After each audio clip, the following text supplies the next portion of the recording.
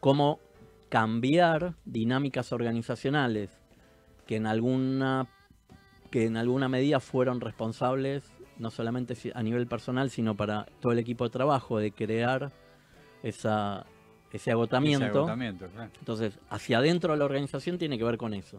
¿sí? Mm.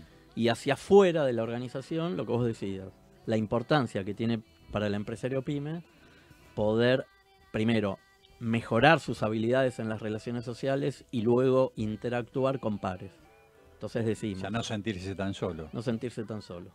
Entonces, hacia adentro de la organización tiene que ver con el grado de desarrollo que adquiere la empresa y cómo empieza a delegar cierta autoridad, empieza a crear una estructura que dé respuesta a las necesidades de la empresa. Si bien va a tener la responsabilidad última en las Mm. decisiones, se va a ver acompañado en información previa, en análisis, en opiniones. Entonces, ese es un mediador para evitar el agotamiento hacia adentro de la organización y hacia afuera. El otro mediador importante tiene que ver con esto que vos decías,